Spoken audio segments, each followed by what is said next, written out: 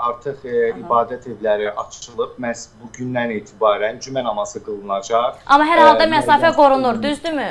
Məsafəli şəkildə. əlbəttə, Yəni e, dünyanın hər yerində olduğu kimi karantinin yumşaldılması e, mərhələsində mütləq şəkildə e, fəaliyyətə başlayacaq xidmət sahələrində və ümumiyyətlə məkanlarda e, mütləq sosial məsafə qorunur. Ən azı 2 metr olmalıdır ara məsafəsi və bundan başqa e, təbii ki, maskadan istifadə olunur, xüsusi dezinfeksiya məhsulları e, məhlullarından istifadə olunaraq belə deyək də o müəyyən sahələr artıq xidmətə başlaya bilirlər. E, bu gündən bəzi sahələr dünəndən artıq deməli sürət qatarları fəaliyyətə başlayıb. Paytaxt Ankaradan bir neçə şəhərə e, səfərləri həyata keçirirlər və ümumiyyətlə e, 1 iyun tarixi e, belə deyək, gözlənilən bir tarix idi. Çünki məhz bu e, gündən, yəni 1 iyun tarixindən etibarən Türkiyədə karantin rejiminin yumşaldılmasında növbəti mərhələyə keçiddir. E, bilirsiniz, bu e, tarixdən etibarən restoranlar fəaliyyətə başlayacaq, artıq Aha. kafelər fəaliyyətə başlayacaq. Bəli. Yəni bir çox xidmət sahəsində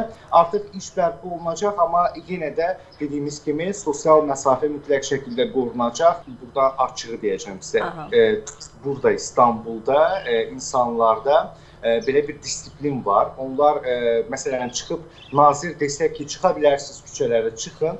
Onlar yenə də o qaydalara əməl edəcəklər. Yəni heç kim onları məcbur eləmir ki, evdə oturun. Sadəcə olaraq tövsiyə edirlər və onlar yenə bu e, küçəyə çıxma qadağası bitsə belə o e, belə deyək, təhlükəsizlik qaydalarını gözləyir. Yeni bir məlumat əldə etmiş olduq ki, 2 gün ərzində evdən çıxma yasağı olacaq. 4 günü başa düşdük ki, Ramazan bayramı ərəfəsində oldu ki, söylədilər ki, birdən çölə çıxarlar bayramlaşmağa görə qohumlarının, yaxınlarının evlərinə gedərlər. Ona görə 4 gün evdən çıxma yasağı oldu. Bəs 2 gün nəyə görədir?